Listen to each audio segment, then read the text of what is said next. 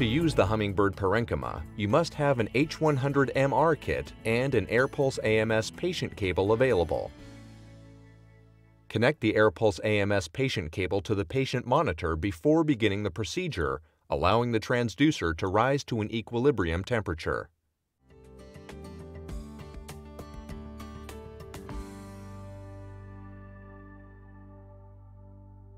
Using a drill bit that comes with the kit, drill a hole with an approved surgical technique.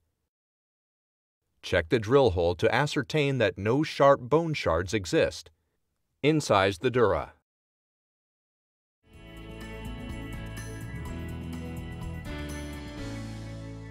Use the drill bit centimeter markings to determine the thickness of the skull and select a bolt stop number that most closely matches the skull thickness. If the skull thickness falls between two bolt stop numbers, use the smaller numbered bolt stop. Slide the bolt stop onto the bolt assembly with the blue surface up.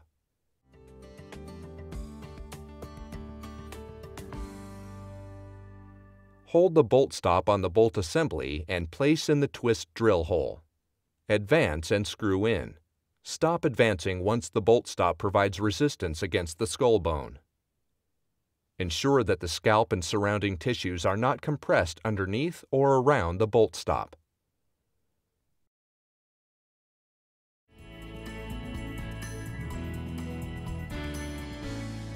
Holding the support handle on the catheter, insert into the bolt assembly and press down on the support handle firmly until the catheter snaps into the bolt. Slide the support handle back on the catheter by pulling it up and onto the tubing.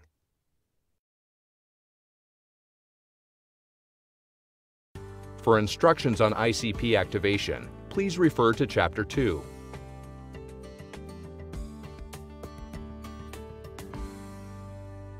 Disconnect the catheter's air pulse luer from the AMS luer. Turn the bolt assembly counterclockwise to remove it from the skull. Remove the bolt assembly and bolt stop from the site.